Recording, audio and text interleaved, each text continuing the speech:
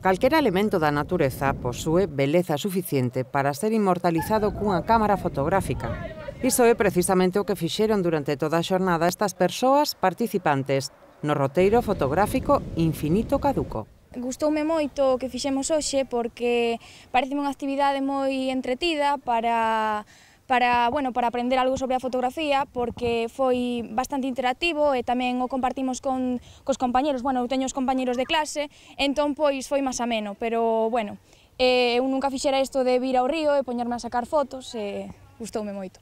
O treito urbano do río Rato foi o lugar elixido por estes improvisados fotógrafos para ampliar a súa visión e a súa técnica. Hoy aprendí un montón, a verdade é que de, o sea, o uso da cámara que non había pensado, controis da cámara que nunca había pensado como usalos, pois pues hoy aprendí un, un montón. A partir de agora, pois el kilo e pico da cámara todos os días con él.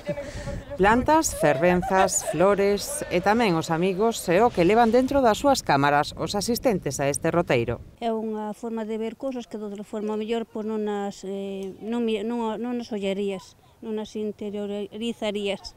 A xornada complementou a exposición Infinito Caduco, que alberga a sala de exposicións do Pazo de San Marcos, unha mostra froito de tres anos de intenso traballo de Denis Estevez, o seu autor. Infinito Caduco, pois, eh, bueno, unha visión personal da natureza por medio da fotografía.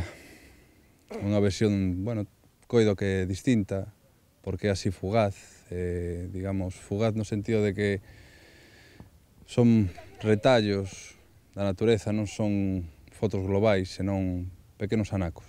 A mostra está composta por fotografías de ríos de Galicia e a súa contorna, cun estilo abstracto no que o autor amosa a súa particular visión da natureza. Infinito Caduco estará aberto ata o vindeiro 31 de agosto.